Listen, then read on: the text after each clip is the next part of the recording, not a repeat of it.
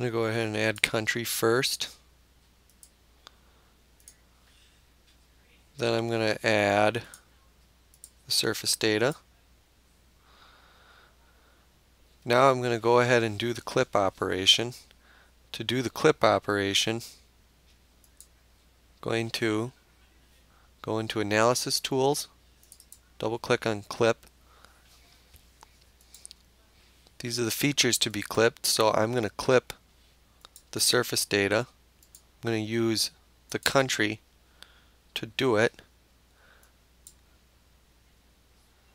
I'm going to go ahead and save this right within this weather folder.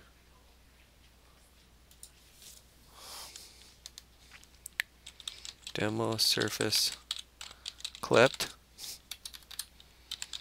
This is where you would save it within your own folder.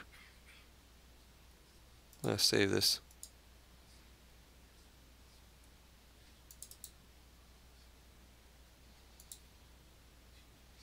and now I'm going to hit OK.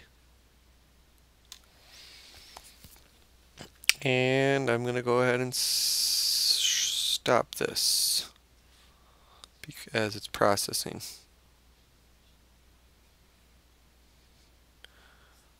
Now it's done. So I can turn this off and now I have the clipped area.